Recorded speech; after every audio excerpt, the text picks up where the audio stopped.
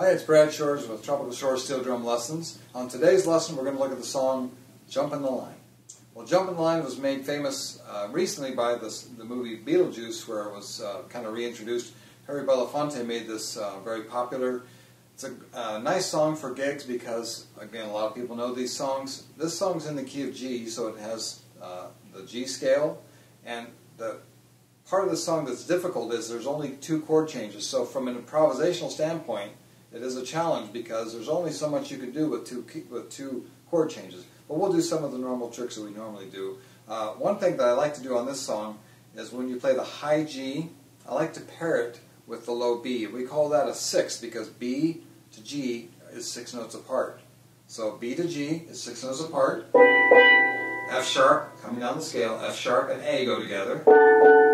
E and G, lower G, go together. And then when I get to D, I just use the B, which is only a third. So again, high G and B, F sharp and A, E and G, and then D and B. Uh, that's one of the improvisational things I like to do because it fattens up your playing a little bit. It makes you sound more professional. Well, we're going to do a little bit of the melody, and then I'll do a little improvisation.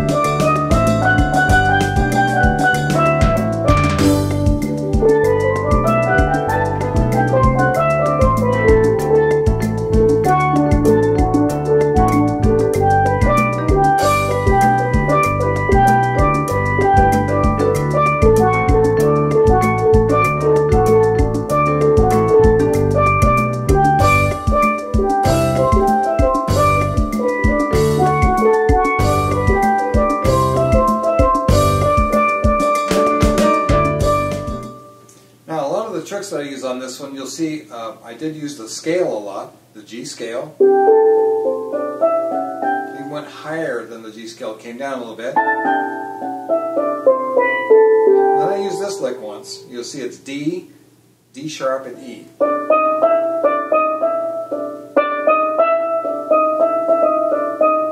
And you can use that little lick over both chord changes, so it, it really sounds good. It's called the Brazil lick because it's from the song Brazil. Uh, also, I use the uh, thing where I, I, go back to the fifth part of the scale, which in this case is D, G, A, B, C, D. I use that note, which is low D, and I do the G scale.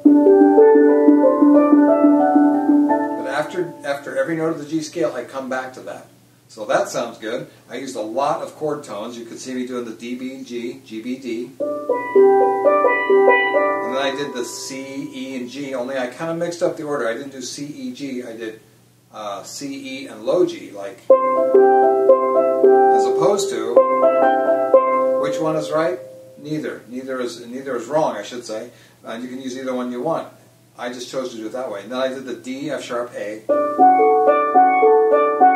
I could have done, used the low D with the F sharp and A, but I just used, used the high one because I was already there at that note. So here it is again, D, D, uh, G, B, D, only inverted. C, E, G, back to the other one. Now the D, F sharp A. It sort of mirrored the melody at the bridge, if you will. It kind of mirrors the, the, the stop time when you're ba ba ba ba ba ba ba. I tried to do those chords and sort of outline them in a rhythmic style. So um, that's another great way to do that. The double stops. These two double stops, D and B, are part of the G chord, so that works. Then you have D, F sharp, A, and you can also add a C on that. It's a D7 chord, D, F sharp, A, C. So you could do A and C work nice with the next chord. I did D and C together. Because remember, D, F sharp, A, C is a D7 chord, so you can use D and C, even though they're next to each other, they sound great on that chord. Here's the chord. D, F sharp, A, C, D. You use those two note uh, patterns and you, you change the rhythm of it so it's sort of syncopated and salsa-like, if you will, and it sounds great. Those are some ways that you can make this song really sound good. And you can always play the melody. That's that's if you want to just do that, that's fine too. But if you want to do some improvisational things, use some of those the sixth. I'm really just coming down the scale and pairing the scale tone or the chord tone with another note that's in that scale, or sorry, in that chord. But when you use them in sixth, meaning six notes away, it really sounds good. That's that's a very popular sound. So that's a great way to work to uh, to improv on this song. Well, that's it for this time. I want to thank you for watching, and uh, I'd like to thank you for commenting. Uh, please go to tropicalshores.net for any of these uh, the sheet music or book needs. Also go to panland.ning.com. It's a social network for uh, steel drum players. There are uh, videos and pictures, and there's some downloadable free music on there. So please feel free to visit that. See you next time.